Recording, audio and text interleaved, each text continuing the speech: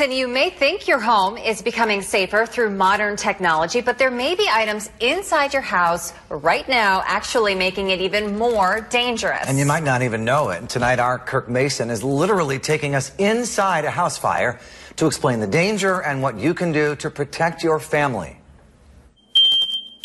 The warning sound of a smoke detector is a critical part of the story behind what saved an Allegan County family from this fire at their Martin home. But it's only part of the story.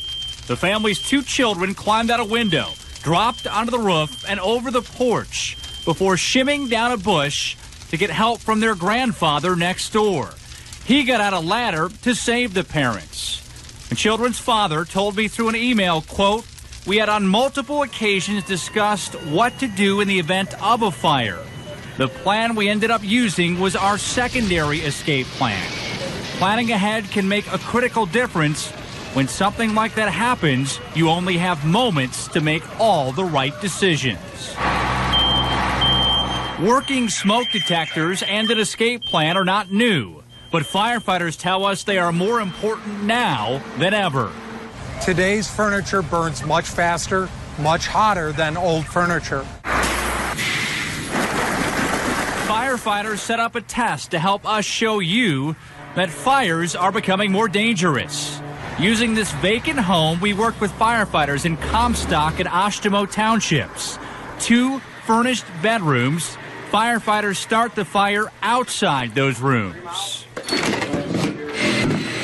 Inside the rooms, we set up cameras to give you an inside look at the fire. Fire started at 1050. Hallway detector is active. But you don't have to be inside this home to understand the danger. After the fire is started, the first evidence outside is smoke. And firefighters tell us what this smoke looks like is very important. Um, it looks like smoke you would get if you burned a pan of gasoline or a pan of diesel fuel because it's just it's, it's solid gasoline. So that smoke is going to be black, thick, and just nasty for you. Unsurvivable smoke. Inside the house, our cameras pick up the smoke detector going off after the fire starts. But it doesn't take long for our inside view to be gone. The reason that thick, black, nasty smoke is blocking the view. The fuel for this potentially deadly smoke is the furniture in the rooms. Similar materials are likely in your home right now. Most people in for uh, home fatalities die from smoke inhalation, not burns. And it's it is truly that that thick, dark smoke that we saw. Since it's not likely we are all going to change the furniture in our homes, what do we do? Firefighters say smoke detectors that are no older than 10 years, preferably interconnected, so they go off all over the house. They need to be in each bedroom and common areas. And families need to discuss and practice an escape plan before a fire ever happens. If you think a practiced escape plan is not necessary, remember the words of an Allegan County father whose family survived a damaging house fire.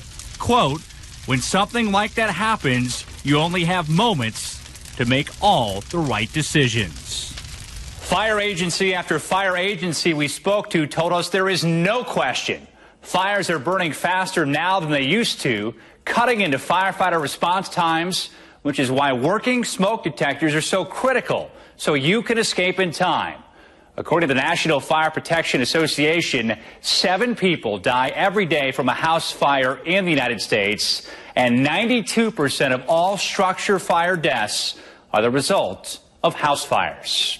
Kirk Mason, News Channel 3.